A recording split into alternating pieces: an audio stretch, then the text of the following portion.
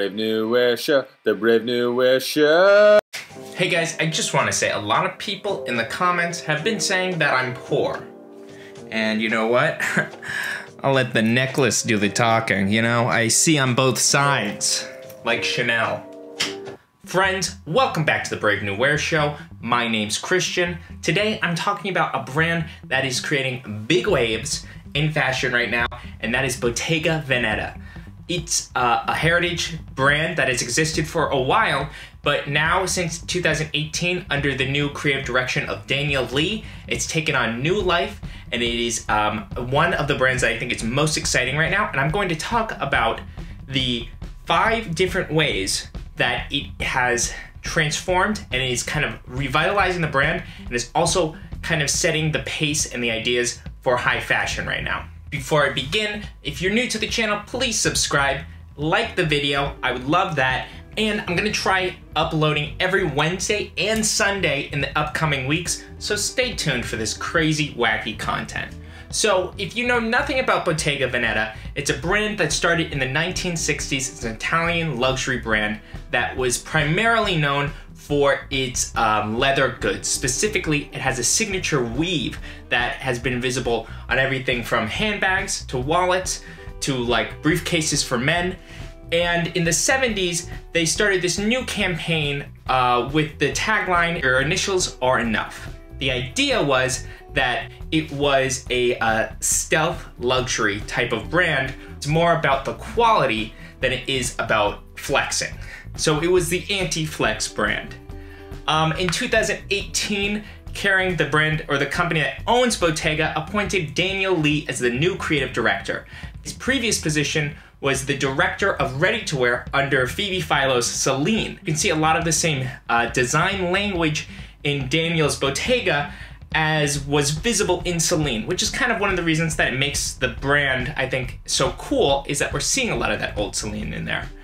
Let me start with something that isn't as impactful, but it definitely stands out to me. Point number one, the Chelsea.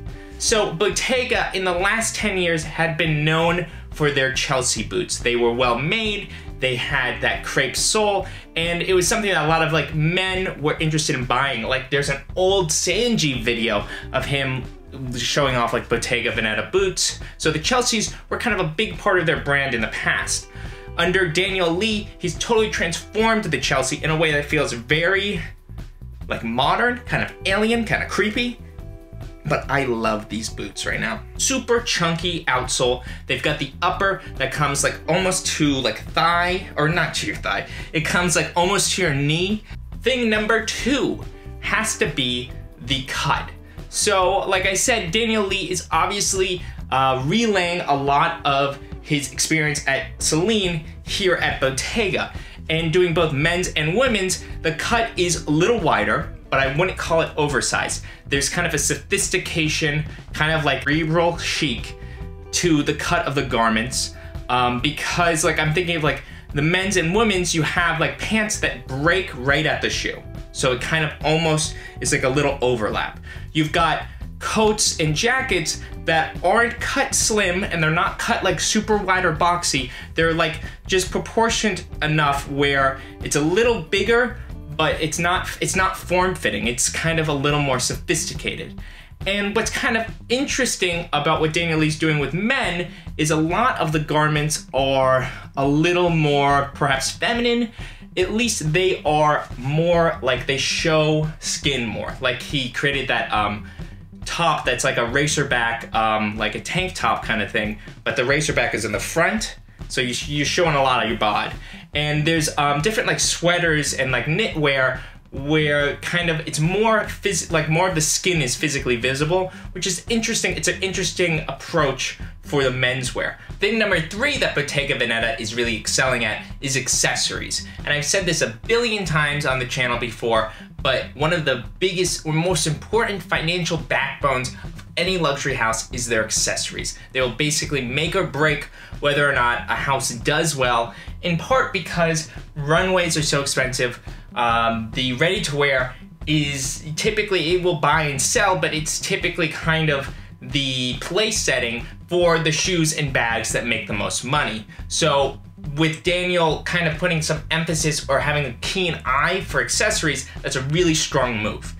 And uh, one of the kind of key features that I see about a lot of the accessories, like the costume jewelry, is that it's very oversized, it's very dramatic, it's very much statement pieces that feel almost kind of like whimsical or strange. We've got like bracelets that are like really big and chunky and kind of structural, sculptural, globular. You've got a lot of chains. That's kind of why I want to wear this chain because he's doing a lot of chains for both men and women that are like huge and bulbous. The women's bags are really excellent. You've got a lot of bags that are playing on the signature Bottega Veneta weave, but doing so in a way that kind of feels a lot more modern. Um, like there's a slouchy one he has, and there's also kind of the regular crossbody bag, but the uh, weave is very exaggerated and dramatic. Number four, on that point, has to be what Daniel Lee has done with the signature Bottega Veneta weave. It's the thing that everybody kind of recognizes the brand for, but for years, it's kind of been one way. The weave has been the small, kind of interwoven, delicate, and um, very technically cool thing that Bottega has done, but it's always been kind of the one size. What Daniel Lee has done with it is he's brought this weave pattern that Bottega is known for, and he's made it gigantic, unlike the bags I was talking about, or he'll take it and he'll create a puffer that's made with that weave, which I think is incredible. It is so dope and cool. Um, you also see it on like men's bags that are kind of like big totes, but it's huge and oversized. And I think it, it really screams to me, this is Bottega Veneta, but in a modern sense. And last on my list is gonna be leather. Like other uh, Italian houses like Prada and Gucci, Bottega has established itself or was known for its fine leather goods. And Daniel Lee is kind of tapping into that history and creating a lot of garments that are in leather. And if you look at the fall winter 2019 collection, there's a lot of wild kind of like motocross, like matrix-esque type of garments. We've got leather jackets that come across like this. They zip up like this, and they've got this kind of really cool rib paneling detailing. We saw uh, like leather pants that were like really chunky and like uh, have the similar rib detailing met with the super tall Chelsea boots. So much of what Daniel Lee is doing, whether it's the weave, whether the weave he's wearing, whether it's the weave detailing that he's putting in everything, whether it's like the oversized crazy accessories, or it's the leather. I think kind of the focal point of all of the new Bottega is texture. It's like everything seems to be either like too big or weird or touchy feely. There's something about texture that I think connects all of the designs right now, and it makes it so interesting.